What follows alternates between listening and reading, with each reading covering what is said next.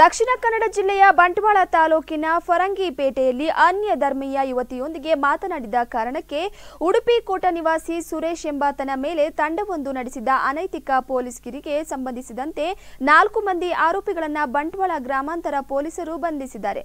ಫಿರಂಗಿಪೇಟೆ ಮಸೀದ್ ಬಳಿ ನಿವಾಸಿ ಅಬೂಬಕ್ಕರ್ ಎಂಬಾತರ ಪುತ್ರ ಆಟೋ ಚಾಲಕ ಉಮರ್ ಫರೂಕ್ ಅಮೇಮಾಮ ನಿವಾಸಿ ಅರ್ಫತ್ ಮೊಹಮ್ಮದ್, ಆಫ್ರಿದ್ ಮೊಮ್ಮಗ ಇಕ್ಬಲ್ ಇವರು ಬಂಧಿಸಲಾಗಿದೆ. ಘಟನೆಗೆ ಸಂಬಂಧಿಸಿದಂತೆ ಆರೋಪಿಗಳ ಬಗ್ಗೆ ಸ್ಪಷ್ಟ ಮಾಹಿತಿ ಇಲಾಖೆಗೆ ದೊರೆತಿದ್ದು ಶೀಘ್ರ ಬಂಧಿಸಲಾಗುವುದು ಎಂದು ಜಿಲ್ಲಾ ಎಸ್ಪಿ ಡಾಕ್ಟರ್ ರವಿಕಾಂತೇಗೌಡ ತಿಳಿಸಿದ್ದಾರೆ.